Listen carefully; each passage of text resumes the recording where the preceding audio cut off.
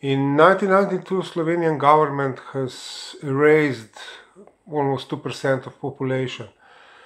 Uh, erased, erasure meant that not only they were uh, they cancelled their citizenship, but uh, the uh, citizenship, social security, medical, the right to live, everything. So overnight they turned them into the illegal immigrants.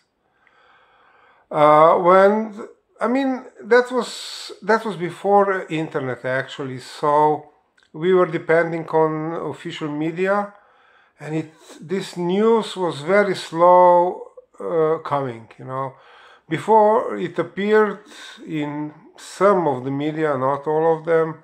It took two, almost three years, I think, if I remember correctly. And I, when I heard about this, I said to myself, oh my God, this story must be told in fiction or film or whatever. This story must be told. Uh, so I said, in this moment, every Slovenian writer or filmmaker is preparing something, so I won't actually do it because I'm too late. I learned about it too late. And then, I don't know, five years passed, and we were going into the tenth years of er erasure, and there was not a single uh, single story or fiction or I mean uh, novel or film. There were okay non-governmental organizations were luckily thanks to them they were uh, they were uh, collecting the life stories of these people who were erased. There was one lawyer, Matevž Krivic, the only one who was fighting uh, for them as a lawyer. There were some documentaries, uh, people, these talking heads documentaries, people were telling their life stories, but still no fiction, you know, uh, no fiction, no film. So I wrote uh, yes, 10 years late, but I wrote the first version of the film script, and then, of course, nobody actually wanted and still doesn't want to talk about this in Slovenia. So there were producers said to me there are no chances for this to be produced.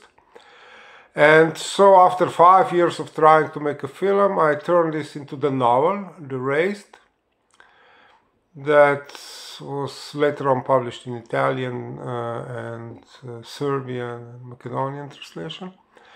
And uh, after a few years, there was a chance. Suddenly, producer called me. Oh, there's a slight chance we get, uh, we will get some money and we can make a film. So we did a film too in the end.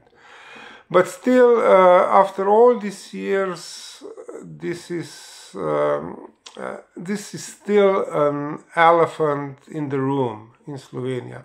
Something that's there, but actually people doesn't want to talk about it.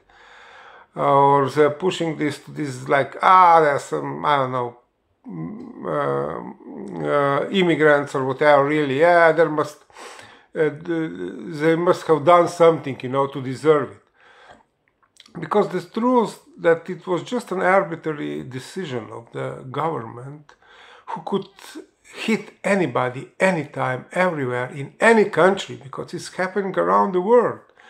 A uh, few years ago in England, the Windrush affair, they just erased the people who came from Jamaica 50 years ago, and so on.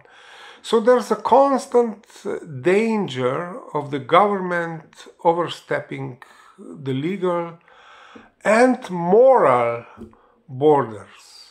So we should be watchful.